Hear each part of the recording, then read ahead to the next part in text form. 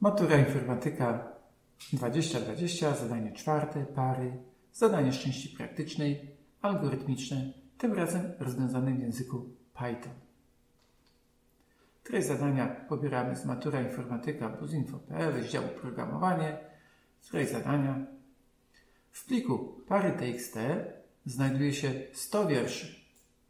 W każdym z nich rozdzielonych spacją, znakiem spacji, jest po pierwsze liczba z przedziału od 3 do 100 całkowita oraz słowo o długości od 1 do 50 znaków składające się z liter alfabetu angielskiego.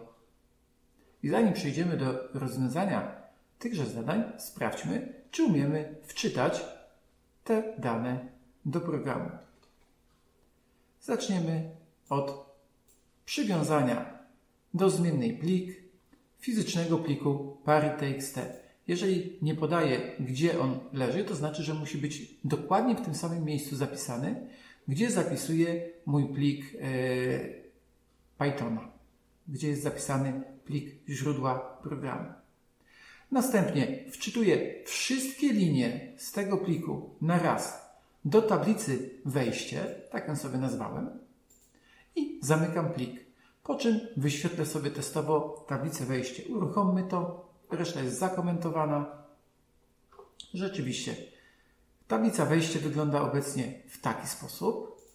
Widzimy, że pierwszym elementem tej tablicy jest pierwszy wiersz wczytanego pliku, który składa się z liczby 68, to jest jeszcze jako fragment tego tekstu, potem spacja, potem jakieś słowo z liter angielskich i proszę zauważyć, że na koniec też jest znak końca linii.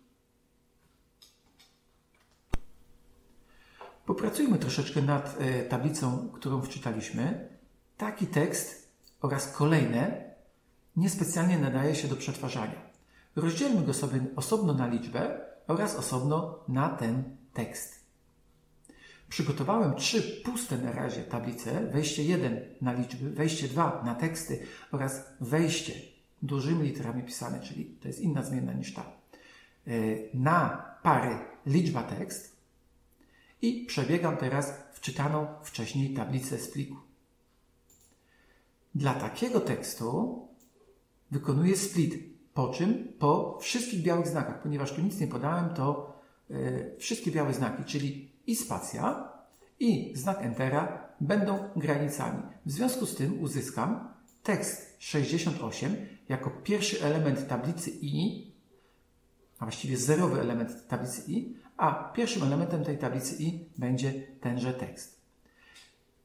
Zerowy element od razu zamieniam na liczbę, drugi element dodaję po przecinku, biorę to w nawiasy okrągłe, tworząc tuple, a jak kto woli, to może dać nawiasy kwadratowe, tworząc y, pod tablicę i dodajemy to jako element tablicy wejście, ponieważ tutaj chcemy mieć pary liczba i przyporządkowany do niej tekst.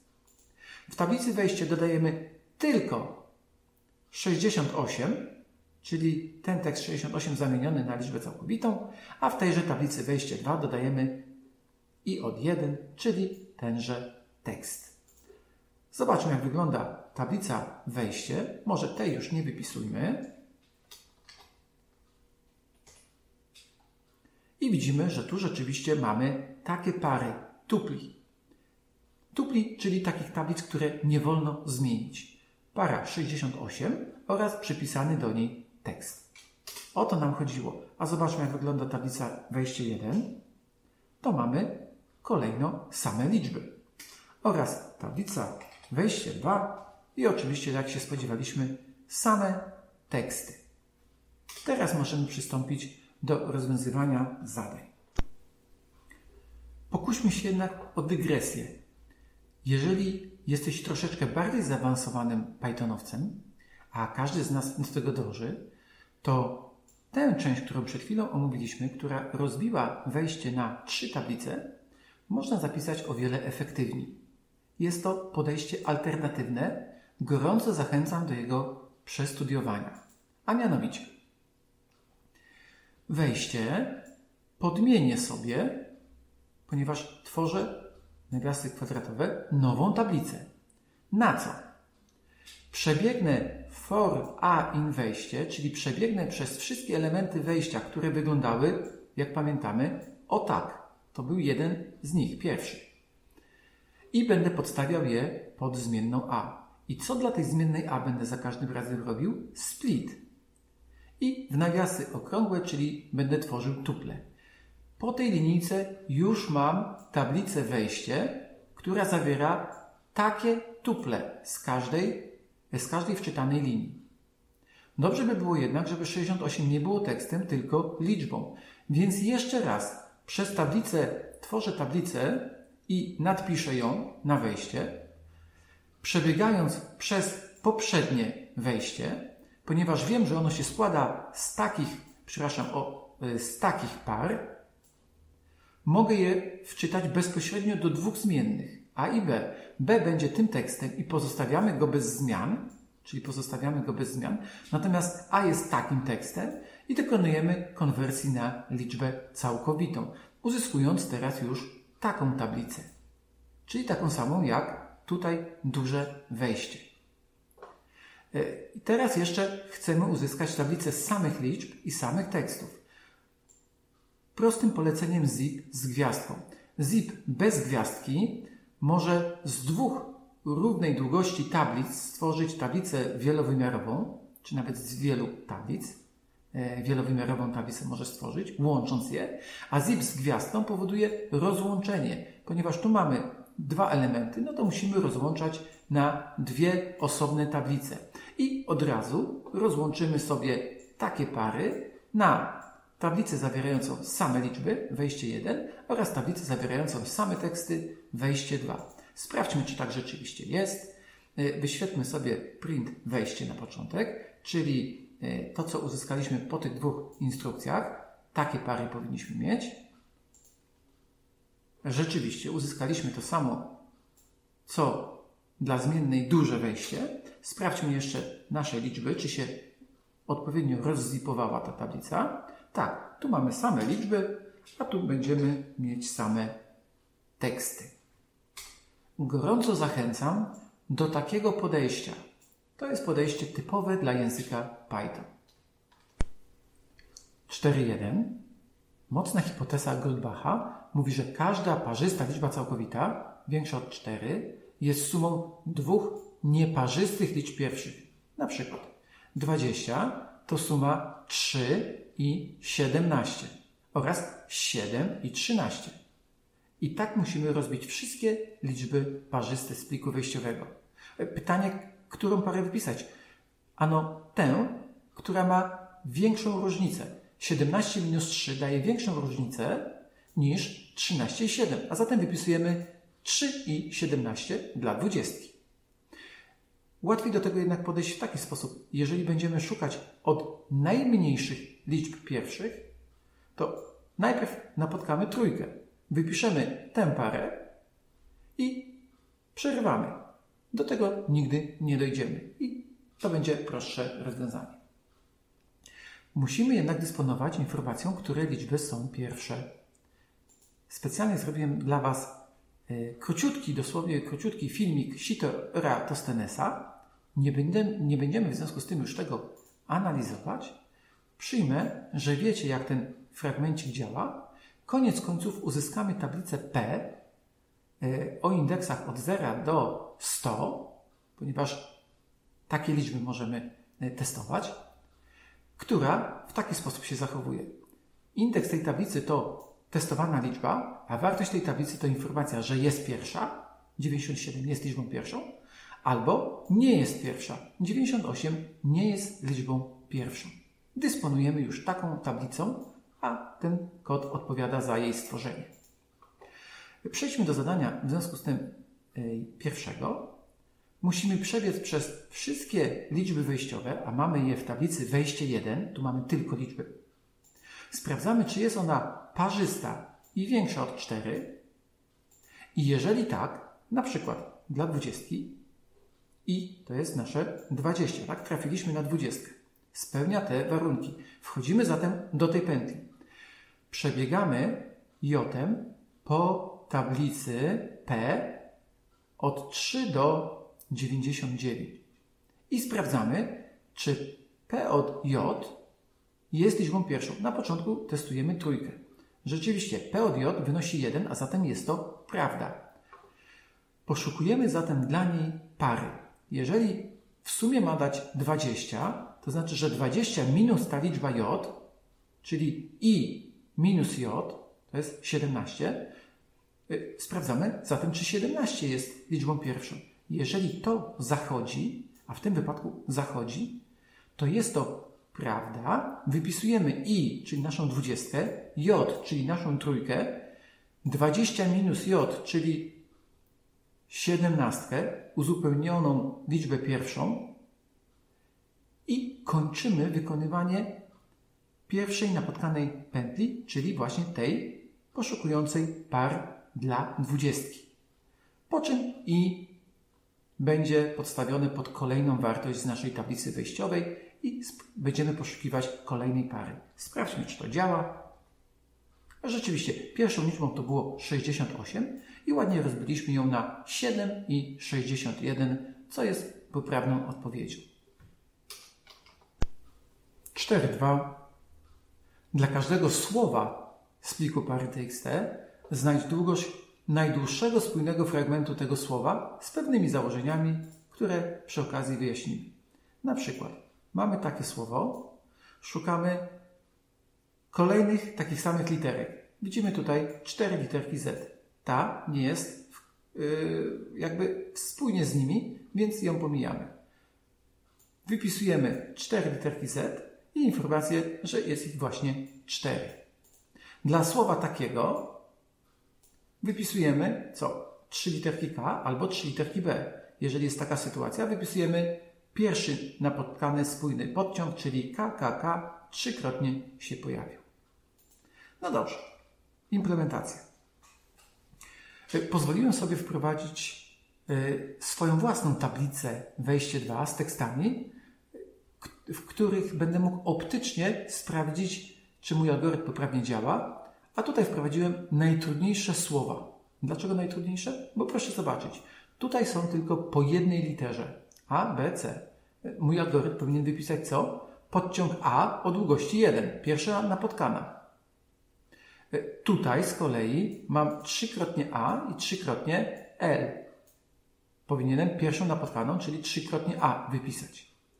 Tutaj najdłuższy podciąg to cztery literki B, ale jest on na samym końcu, więc sprawdzę, czy coś, co się kończy na naszą literę, także będzie poprawnie zinterpretowane i podobnie, czy coś, co rozpoczyna słowo, także zostanie od początku rozpoznane, czy na przykład dopiero od drugiej litery. Jak to zadziała? Zakomentuję ten wiersz i będę pracował wtedy na danych właściwych. Dobrze. Pętla po i, i wejście 2. To znaczy, że pod i będziemy podstawiać kolejno te słowa. Tu mamy zmienne, które za chwilę omówię. Natomiast i to są nasze kolejne słowa. Zatem pętla for j in i, y, to na razie pomijmy, będzie oznaczała, że pod j będę podstawiał kolejne litery tych słów. Dla tego słowa to będzie i nasze. J będzie przyjmować wartości A, A, A, A, L, A, M i tak dalej, kolejne litery. Dobrze, ja jednak nie będę testował takiego słowa, tylko takie słowo zakończone literką minus. Dlaczego? To wyjdzie przy okazji analizowania algorytmu.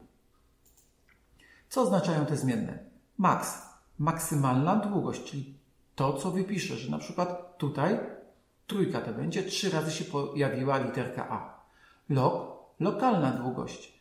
W tej sytuacji, tu jak będę analizował to A, to lokalna długość będzie 2. To znaczy, że druga literka A się pojawiła, a w tym momencie lokalna długość to będzie 3, bo trzecia literka A. Poprzednia litera, bo muszę porównywać y, bieżącą literę do poprzedniej, czy się zmieniła. Na początek ustawiam ją na taki znak, który nie występuje w tych słowach, żeby od razu przy pierwszej literze wiedzieć, że no, muszę ją zliczyć jako początek tekstu. Czyli poprzednia ustawiam na literę, która tutaj nie istnieje. No i litera znaleziona, ta najdłuższa, Też ją na razie ustawiam na minus. Jeżeli wypisze mi gdzieś minus, to znaczy, że mój algorytm nie zadziałał, bo wypisał coś, co było jakby ustawione na początek spoza naszego zbioru liter. No to do dzieła. Przebiegam i wynosi ABC, J. Kolejne litery, na początek literka A. Sprawdzam, czy poprzednia litera, poprzednia jest ustawiona na minus, jest równa literce J. Nie jest równa. Gdyby była, to bym zwiększył licznik, że literki się powtarzają, tak? Na początek jest ustawiony na 0, bo się jeszcze nie powtarzały. Ale nie zwiększam go, ponieważ nie są równe. No to co robię? Sprawdzam, czy ponieważ nastąpiła zmiana, tak? Ta zmiana mogła nastąpić w tym miejscu. Jeżeli nasz max jest większy, e, przepraszam, mniejszy niż lokalna długość tekstu, bo wcześniej policzyłem do dwóch, a teraz policzyłem już do czterech, to czy muszę podmienić tą długość? No wtedy oczywiście tak. Czyli lokalna długość będzie przepisana jako maksymalna długość, a litera będzie ustawiona jako właśnie ta odnaleziona. Niezależnie od tego, czy podmieniam, to muszę y, zmienić co? Lokalną długość na 1. Dlaczego? Dlatego, że jest to pierwsza znaleziona inna litera, tak? ponieważ nie jest równa poprzedniej. Lokalną długość ustawiam sobie na 1. To jest na przykład y, ta sytuacja. Tak? Poprzednia była minusem, to jest a, czyli ustawiam długość tej literki na a. Ona się pierwszy raz pojawia. A poprzednią ustawiam na co? Na właśnie tą, którą przed chwilą testuję, bo za chwilę będę wchodził do następnej i będę musiał porównać do tej, która jest obecnie literą testowaną. Przebiegam tak przez wszystkie litery. Dlaczego na samym końcu dodaję tutaj do tego słowa minus? Ano dlatego, żeby pojawiła się ta sytuacja, że poprzed... Yy, litera obecnie testowana, czyli minus, nie jest równa poprzedniej literze. W związku z tym wskoczę tu i dokona mi się ten if, nastąpi podmiana, ale dla czwórki. Gdybym nie dokleił tego minusa, to skończyłbym na tej literce B, przetestowałbym ją z poprzednią, ale nie zwiększyłbym jeszcze e, tego licznika, kończąc równocześnie słowo. To jest dość trudny do wytłumaczenia algorytm, ale hmm, działa. Polecam go spokojnej analizie. Na koniec wypisuję co? Print i, czyli to słowo, które de facto należałoby pominąć, potem literę. E, w języku C oni muszą zrobić pętlę, która wypisze e, wielokrotnie tę samą literę. My teksty możemy wymnażać, czyli wymnażamy go razy max, ponieważ max to jest ilość powtórzeń tych liter, no to litera razy max to będzie na przykład 3 razy a, to wypiszę a. No i max, czyli 3 i to powinno zadziałać. Tu będzie a1, tu będzie aaa3, tu będzie bbbb4 i czterokrotnie a. Sprawdzamy. Rzeczywiście takie są odpowiedzi, a ponieważ dla naszego zbioru testowego to zadziałało, to też sprawdzamy dla zbioru głównego i to są poprawne odpowiedzi, które należy y, udzielić w zadaniu. Punkt 4.2 był trudno wytłumaczalny, natomiast 4.3 jest, choć za tyle samo punktów, banalny. Na początek definicja. Para liczba i słowo jest mniejsza od drugiej pary liczba słowo, jeśli liczba jest mniejsza od drugiej liczby. W sytuacji, kiedy są równe, dopiero wtedy porównujemy leksykograficznie, czyli w porządku alfabetycznym słowa. Przykład. Para 1 BBB jest mniejsza od 2 AAA, dlatego że decyduje liczba. Natomiast para 3 AAA jest mniejsza od 3 AB, bo choć trójki są sobie równe, to AAA jest alfabetycznie wcześniej niż AB. I my mamy wypisać najmniejszą taką parę, ale tylko z tych, gdzie długość słowa jest równa liczbie z tej pary. Realizacja jest banalnie prosta. Ustawiamy sobie najpierw jakieś mini, to jest klasyczne poszukiwanie minimum. Na pierwszy element z tablicy, jak znajdziemy mniejszy, będą następować podmiany, czyli na pierwszą parę.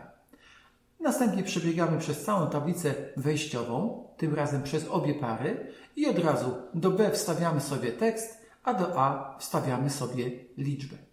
I sprawdzamy. Jeżeli długość tekstu jest równa tejże liczbie, to dopiero rozpatrujemy taką parę.